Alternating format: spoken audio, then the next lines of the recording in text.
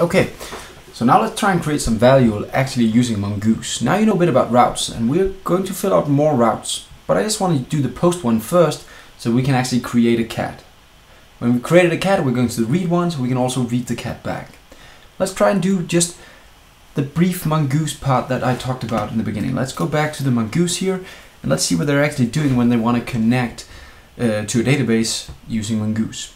The first thing we do is we require Mongoose, so we require this library to do something. That makes sense. Let's copy that. That's something we want in our setup. We want to require Mongoose. Let me just add that right here. Let me actually add it to the top, so we'll keep the requirements up there. The next thing that's going to happen, let me jump back, it says it connects to Mongoose. We're actually connecting another place in our full stack, and I'll show you where it is. We're not going to dig into it now, I just want to show you where you're actually connecting Mongoose in the full stack. So let's find the app.js file right here. It's, um, if I just close some of these, it's actually in the root of the server, there's an app.js. That's where it all starts. Talked about that before as well. But here we're actually connecting to Mongoose. And since we're doing an export with our Mongoose library again and again, everybody's going to be able to use this. Okay, so it shouldn't be a problem for us we only have to connect this one place. So you don't have to worry about the connection. That's my point. Good. What else is happening? Well, we're making some kind of Mongoose model here. We're going to grab that as well. Inside our index file, before we do the post, let's make this Mongoose model. Now what is that? A Mongoose model is a way for us to start defining the schema so that we can save the right the cat in the right way in the database. So here we can say he has a name. And let's just give the cat an age as well, because I already showed you that inside, whoa, that's a number. I already showed you that inside Postman that I'm going to send a name and an age to the cat.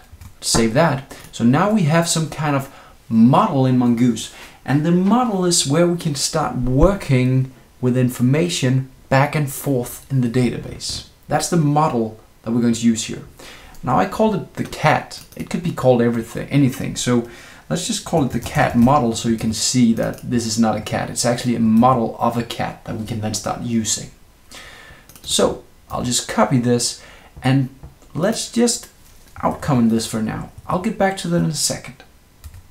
What is it actually we want to do? Well, I would like that when I hit the post request, I want to create a cat. So I'm going to call a function that's on the cat model called create. This is a function, of course, that's in the Mongoose library when you generate a model. You can do a create request or a create, you can call a create function. That's how I should put it. In here, in the create, I'm going to say that when I do create, I'm going to send some kind of information, a, a JSON object that I want to create. And in our case, we're going to send that JSON object inside the request body like I did before. And then when I'm done creating this, I'm going to do another callback. So I'm going to make another function here, but instead of request or response, that's actually going to return to me an error if something goes wrong, or the actual cat I just created if everything works fine. Now what you can see here is that we start getting a callback hell, somebody calls it. We're actually going to have a callback, and when that's done, we're going to have another callback, right? So we start doing this callback in a callback in a callback, and that can keep going forever inside JavaScript setup. So we're going to use something called Bluebird later to prettify this. But let's just keep it this simple right now. So we have a callback inside the callback.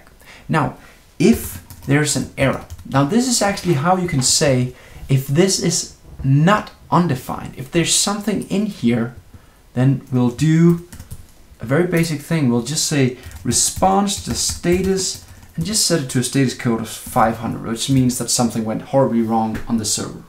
We can do a lot of other things, but let's just keep it simple right now. If we didn't get that error, and we didn't, let's just return this by the way, to say we don't want to continue, rit run. No, let's do return instead, like this. If we didn't get an error, then we want to return, the response is going to return the status of 200 saying that everything is fine, and it's going to return some JSON to us, which is just going to be the cat object that we just got from the create method. Okay, so let's try and read this again before we try and run it. We're saying use the cat model that Mongoose provides. The cat model is using some kind of cat collection and the cat collection has to use this schema right here. Okay, if we do a post on um, the slash API slash cats, then go in and call this function right here with a request and a response to return when we're done. Use the cat model to create a cat using the request body. That was the one we used before, just returning it again right down here. And then if everything, um, after you've done the create, then call this function right here. And what that does is it gives you an error if something goes bad, or it gives you the cat it just created in the database with the correct ID, etc, etc. Okay, if an error comes, just return the status code. If everything goes wrong, uh, great, then return the cat. Okay, let's see if that works. Going into Postman, and we still have the cat here. And let's just uh, clean this up a bit. Okay, let's try and send this now to the API. And hopefully I'm getting back the same as before. But now, as you'll see, it's actually created inside the database because I'm getting an ID back. So now we just created our first real create request using Mongo right here.